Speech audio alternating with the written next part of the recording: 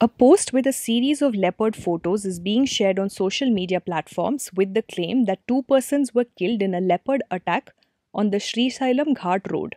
A reverse image search of the photos in the post led us to an article published by news website Sakal on 11th December 2018 that carried similar photographs.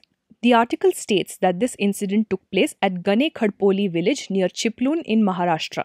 The article says that an injured leopard attacked forest officials near the village when they tried to trap her in a cage. Two people were reportedly severely injured in this attack. We searched for more information on this using other sources and found a video posted by Jai Maharashtra News on YouTube. The description of this video says that the leopard attack took place in Chiplun. Earlier, when similar photos of this leopard were shared with false claims, a few fact checking portals had published articles about this incident too as visuals from a leopard attack that took place in Maharashtra is being shared as one that happened in Srisailam, this post is fake. When you come across a piece of news that seems too ridiculous to be true, don't leave things to doubt.